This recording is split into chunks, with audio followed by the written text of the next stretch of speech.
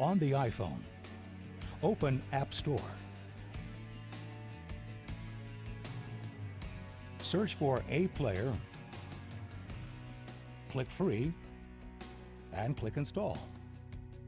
You'll need an iTunes account. You'll see an icon for A Player. Click on the A Player icon. Click Setting button, Gears icon at the bottom right corner of the screen. Enter the server IP. Keep port as 18004. Enter the same user ID you put in the DVR and enter password. Then click back on the top. Click the play button on the bottom left corner to connect to the DVR. After connecting, camera 1 will be visible. You can change to camera 2 by pushing the 2 button on the right hand side.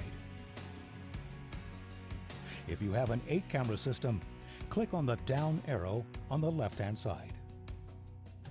To view the buttons to access the next four cameras, click the arrow button on the lower right hand side.